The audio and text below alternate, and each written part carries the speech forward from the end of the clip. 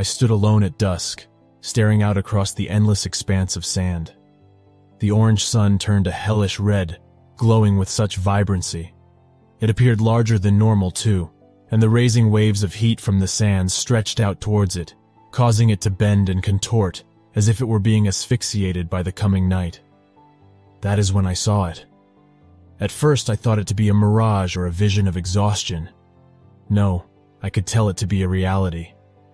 Just beyond the ancient dunes stood a massive structure, one made from black granite and obsidian.